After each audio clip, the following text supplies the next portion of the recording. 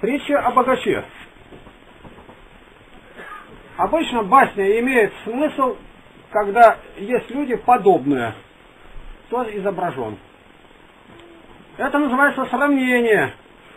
Притча в виде басни. Но касается людей из реальной жизни. Богатые были и есть. И бедные были и будут. Но вот здесь на арене остался один богач. И показано, как он думает, как он размышляет, как он распоряжается планами и своей будущей жизнью. И мы узнаем его характеристику не от того, как о нем скажут люди или Бог, а он сам себе дает характеристику. Он весь на земле, у него большие планы, он хороший экономист, посчитал все. Неплохой строитель, он знает, куда вложить деньги, капитал, как расширить свое производство. Житницы старые сломаю, новые корпуса построю, новые элеваторы. Вообще-то неплохой человек. Такого бы в администрацию сегодня. Хоть маленько бы сельское хозяйство поднял. Ничто у него не пропадает. Но вот беда, что он вообще Бога не берет во внимание. Как сейчас отмечали 60-летие э, Победы, ни звука нигде, что это сделал Бог. А вот мы сделали, это мы, руководящая, направляющая партия, и везде об одном и том же, и гремят орденами, ну, то есть железками. Не только смешно, а сверхпреступно.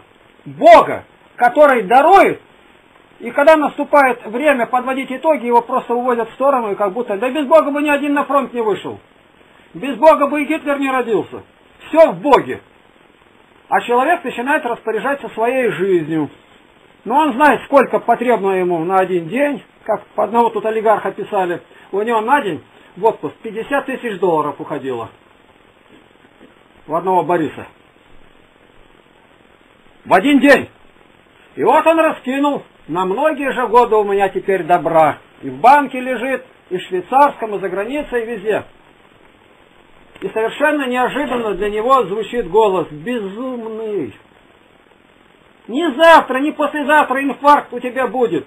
Сегодня, в эту ночь, душу отдашь. Кому? Ему вопрос, говорится, кому достанется, что ты заготовил. Но можно еще поставить, кому ты душу вот теперь поручишь. Ангел-хранитель поднесет ли тебя по мытарствам до Царства Небесного? Безумный! Кому все это достанется? А я вот много, и дальше начинает перечислять, наследство разделять. И так бывает со всеми, кто собирает сокровища для себя, а не в Бога богатеет. Противоположно этому богатеть в Бога. Богатеть в Бога. Это для нас притча. Вы, мы же жить не бедные. Я гляжу, мы все живем в достатке. Никто не обращался ни разу ко мне за помощью, что вчера лег голодный спать.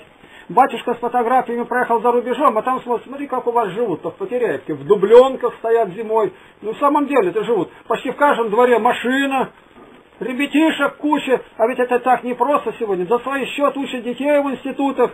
Живем-то ведь неплохо.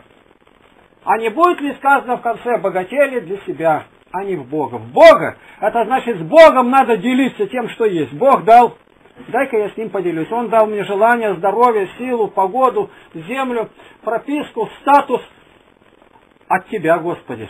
Возьми его в соучастники до конца и поделись с ним. А где? Меня посетили, навестили.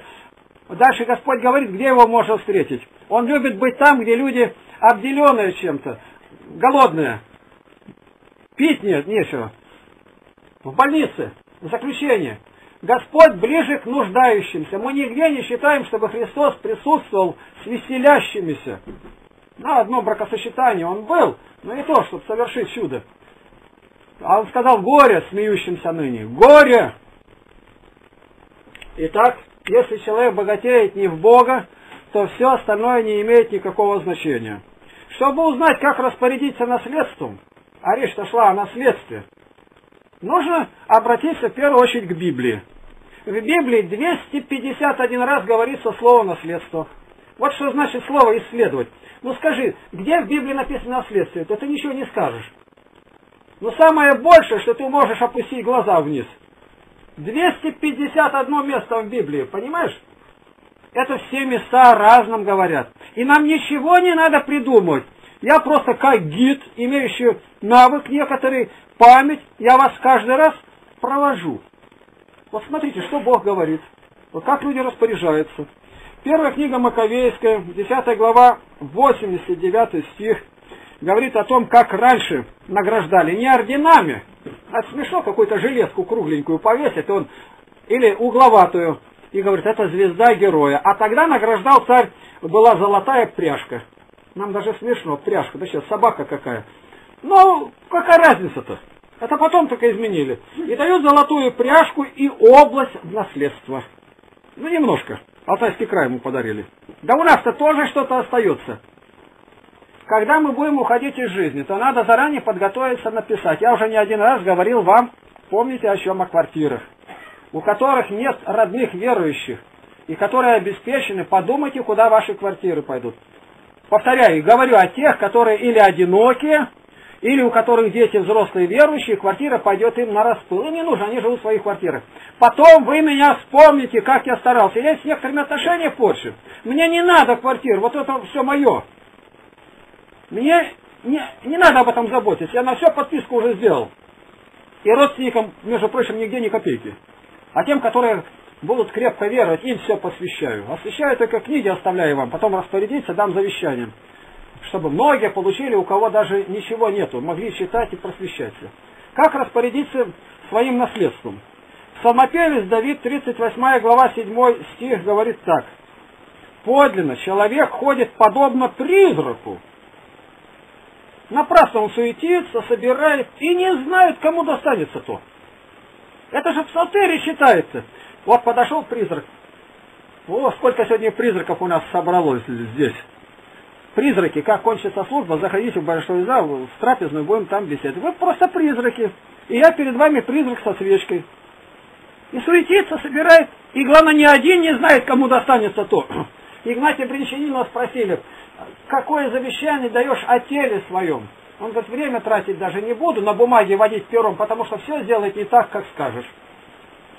Чего ж тут завещать? Особенно о теле. Да привезут где-то и не думал, как Деникина раскопали, привезли сюда. Это он не закончил еще, чуть власть кончится, это его вы, выкопают из, из земли, как Распутина Гри, Григория Ефимовича, и сожгут. Или как Гришку за, отрепил, зарядили в пушку пепел, да еще и выстрелили. Ты не знаешь, кому еще достанется. И поэтому настолько все это хлипкое, насколько туманное, ненадежное – и надо заботиться отправить на небо. Гляжу, да, к детям своим настолько привязаны. У тебя хорошо говорить детей, скажут нет. Это не в этом дело. У меня тоже кое-что есть. Не думай, что я ни к чему не привязан. Но вот все последнее туда вламывает. Сделаешь какое-то предложение, чтобы для неба отправить. Глядишь же, жмется человек. Раскошельтесь. Кто щедро сеет, щедро жнет.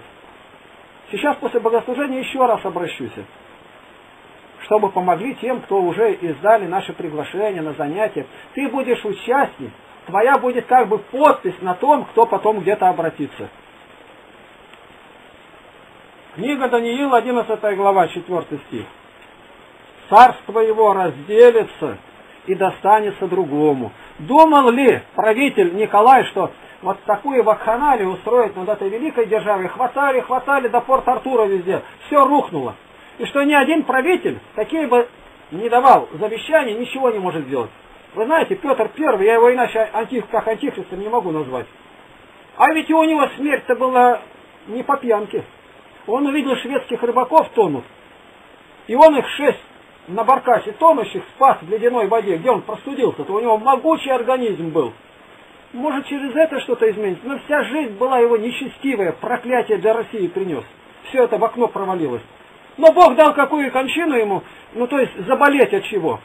И уже он понял, что все, врачи не помогают, лекари бессильные. И он попросил ручку. Наследство оставить, и первую букву не смог вывести кому. И рука упала и умер. Значит, заранее надо заботиться. Иначе дьявол вырвет из руки то, что у тебя есть, и язык отнимется, и не скажешь. Я завещаю Христу. Я одного Христа ставлю наследником своим. Я все для Него при жизни посвятил. Вот эти слова мы должны сказать. Вот понимаете, я не могу конкретно показать, но все, что у меня есть, я повторяю конкретно себе, я все завещаю Христу. На что я не сделал указания, все для Христа. Но вы разумные люди, вы поймете, как это сделать. Чтобы ни одна копейка не попала никуда. А в голодный рот она может попасть. Книги нуждающимся, у кого денег нет, раздать. Я еще прижимаюсь, потому что я не знаю, может быть еще что-то издавать буду. Поэтому мне нужно оборот сделать. А тогда мне этого ничего не надо. Первое Паралипоменон 28.8. Соблюдайте и держите всех заповедей Господа Бога нашего, чтобы владеть вам всею доброю землею и оставить ее после себя в наследство детям своим навек. Я отношу это к Потеряевке. Земли Бог дал сколько-то, что есть, не ценит. Если это так будет продолжаться, ну, вторично она умрет и все. Чтобы хранили заповеди Господа Бога. И до этого получить за это благословение, и чтобы осталось наследство детям вашим, вашей земле. Заметьте, какая связь. И вначале испытывайте Богу, узнайте заповеди, соблюдайте, и тогда ну, нормально дальше будет идти уже. Бог войдет в число тех, кому перейдет наследство. Сирахов 14.15. Не другим ты ли оставишь стяжания твои, и плоды усилий твоих для раздела по жребию. А сколько скандалов, до убийства доходит. Вот сейчас заказное убийство только, ну, едва не совершилось. Осталось наследство дом, два брата, брат брата уничтожает. И нанял киллера-милиционера. Вот последняя газете на столе прочитайте. Оси 12.8. Ты накопил себе имущество. И человек говорит, да, я накопил. Хотя во всех моих трудах не найдут ничего незаконного, что было бы грехом. Я знаю хорошее стихотворение Некрасов, говорит, знаю, в богатом обращается, у тебя все, это все послано небом. Если о нашем так будет сказано, то и дальше надо распорядиться на небо снова отправить, через утробы бедных, нуждающихся. Захария 9.3. Ты, говорит, накопил серебро, как пыли, и золото, как уличную грязь. Сравнения какие. Вот они все богатые люди. Я утром стою и говорю, вот такие знаменитости, которые захватили все богатство, там футбольные клубы покупать. Он спал ночь сколько не выше моего, даже больше тревога была, чем у меня. Вполне даже. И ел он с не большим аппетитом, чем я ем. А все это остальное деньги только смотреть, как его разделяют. Да стоило ли ради этого страдать? А сколько на человека покушаются? Кому достанется наследство? Один переезжал с большим наследством, у него целый сундучок золота, браслеты и мальчик. И теперь он едет на родину. И мальчик послушал, моряки, говорят, узнали, что у тебя в сундучке золото. И много. Сегодня ночью придут убить тебя. На корабле никуда не, не сбежишь. И он подумал немножко, да, я решил, что сделать. Мальчик говорит, вытаскивай сундучок на палубу. Расстилай большое, большое одеяло и все высыпал. И теперь впервые увидели все его сокровища. А которые хотели убийца, то они подумали, теперь не мы одни на него будут заримся-то. Ему жизнь спасти. О, перечисляет каждую вещь, как она доставалась, как она дорога ему, с какой пробы золота. Все перечислил. А потом попросил мальчика взяться за два угла, сам за эти подошел и через борт все метнул. Все, до свидания, греховное, все должно утонуть. И все, жизнь спокойна, а за что его убивать? Может быть, придется также вот бросать все в этом мире, мы не знаем, что будет. Может, наши соседи, этот миллиард двинется на нас, и придется все обижать. Так вовремя надо распорядиться, пока оно наше. А кому достанется то, это мы не знаем сегодня, конкретно сейчас. Если мы обрекли на что-то, вот я книги обрек, что я ни одного куска хлеба лишнего не съем. Это же у меня деньги лежат, это капитал у меня засушенный пока. Я его уже посвятил для Господа, я за него не боюсь. И кому отдал на сохранение, это для Бога. Из проданных книг ни рубля родственникам не давать, если, конечно, они не будут умирать от голода. Псалмопевец Давид 48.18 говорит так. Ибо умирает человек не возьмет ничего и не пойдет за ним слава его. С этим нетрудно же согласиться. Сирахов 10.13. Когда человек умрет, то наследием его будет Повторим два слова. Что же наследием будет? Становятся присмыкающиеся и черви. Вот и все. Я вчера об этом говорил, что у нас некоторые чрезмерно толстые, жирные. Начните трудиться, еще идет пост. Сбросьте с себя, ни грамма не убывает, мои слова не действуют. Я вам поделюсь опытом своим. Я себя в день раза два-три прощупываю за живот. Не, не, не потолстел я или нет. Всю жизнь прожил в этом страхе. Вот маленько-то позаботься о себе. Тем более у нас есть и сестры, и братья нужной конституции, устройства. Позавидуй им, посмотри. Если лишний жир, это значит сонливый, ленивый, жадный, лишнее на себя все, на, говорит, на свои кости чужое сало повесил. Серахов 1, 12, 13. Человек делается богатым иногда от осмотрительности и бережливости и не знает, когда он оставит то другим. Даже законно нажитое, не греховное, но надо им распорядиться. Первая Маковейская 9.55. Ну там об одном человеке говорится, Алким. Он был поражен ударом ангела, а не имел и не мог завещать о доме своем. И история сохранила этот пример. Однажды этого достаточно, чтобы внезапно нас не поразил удар, инсульт, и ничего не скажешь, и не знает куда, а все растащит, валяться не будет твое добро здесь. Самое мелконько будет продавать. Мне предлагали купить старую Библию за большие деньги. Я пришел на дом к ним. Я говорю, она вам завещала? Ну не завещала, а мы же ее наследники-то. Так она же старинная Библия. Ну старая, ее надо переплетать. Мне не старинная нужна, чтобы она не пропала. Ну мы так не отдадим. Ну и развернулся и ушел. Моего ничего не продавать, когда я умру. Если кто-то не согласится взять, а нет, значит, на ветошь. Псалом 111.9. Тот псалом, на который апостол Павел сошлется, когда будет иметь большое желание расшевелить коринфян жадных, богатых и жадных. И он говорит, так написано, и ссылается на Псалом 111. Он расточил, раздал нищим, а правда его пребывает вовек. Значит, вот что необходимо. Расточить, раздать, и тогда правду утвердишь, и она будет во веки веков. Аминь.